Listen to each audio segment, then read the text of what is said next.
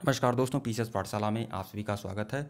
यह हैं यह हैं राष्ट्रीय सुरक्षा सलाहकार अजीत डोभाल। इन्होंने एक सम्मेलन में भाग लिया है और अध्यक्षता भी किया है। तो देख लीजिए, अफ़गानिस्तान पर दिल्ली क्षेत्रीय सुरक्षा वार्ता की मेजबानी करेंगे भारत। मेजबानी करेगा भारत। अफ़गानिस्तान पर दिल्ली क्षेत्रीय सुरक्षा वार्ता की मेजबानी कौन करेगा? भारत करेगा दस नवंबर दो हज़ार इक्कीस को। भारत द्वारा अफ़गानिस्तान पर दिल्ली क्षेत्रीय सुरक्षा वार्ता की मेजबानी की जाएगी।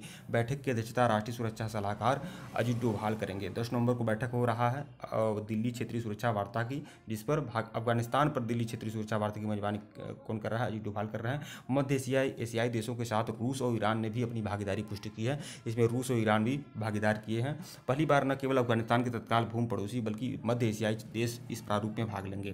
पहली बार केवल, न केवल अफ़गानिस्तान के तत्काल भूमि पड़ोसी, बल्कि मध्य एशियाई देश मतलब रूस और ईरान भी इसमें भाग ले रहे हैं और बाकी पड़ोसी राज्य तो इसमें भाग ले ही रहे हैं दिल्ली क्षेत्रीय सुरक्षा वार्ता में।